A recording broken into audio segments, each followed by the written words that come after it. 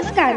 महाराष्ट्रातील विविध क्षेत्रातील बातम्या झटपट आपल्या मोबाईलवर पाहण्यासाठी लगेचच सबस्क्राईब करा. राष्ट्रशक्ती लाईव्ह न्यूज आणि सोबत बेल आयकॉन प्रेस करायला विसरू नका. अकलूज माळशिरस रोडवर आयशर ट्रकला शैक्षणिक सहलची एस टी बस धडकून अपघात झाल्याची घटना घडली. या अपघातात एक जण ठार तर चौघे जण जखमी झाले आहेत. ही घटना दिनांक एकवीस डिसेंबर रोजी पहाटे सहाच्या सुमारास वटफळी तालुका माळशिरस हद्दीत घडली.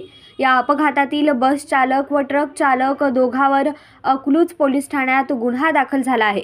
याबाबत अकलूज पोलीस सूत्रांकडून मिळालेल्या माहितीनुसार बावडा तालुका इंदापूर जिल्हा पुणे येथील शिवाजी विद्यालय व कनिष्ठ महाविद्यालयातील विद्यार्थ्यांची कोकण दर्शन शैक्षणिक सहल करून परत निघालेली होती.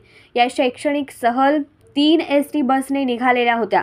त्यापैकी चाळीस विद्यार्थ्यांचा अकलूज आगाराच्या एस टी बसने क्रमांक एम एच चौदा बी टी सत्तेचाळीस शून्य एक गुरुवारी दिनांक एकवीस डिसेंबर रोजी पहाटे सहाच्या सुमारास अकलूज मास्टरस मार्गावर वटफळी हद्दीत थांबलेल्या ट्रकला क्रमांक एम एच शून्य नऊ एफ एल तेहतीस अठ्ठ्याण्णव पाठीमागून धडक दिली. या अपघातात शिवाजी महाविद्यालयाचे शिक्षक बाळकृष्ण हरिबा काळे वय त्रेपन्न राहणार रेडणी तालुका इंदापूर हे जागीच ठार झाले.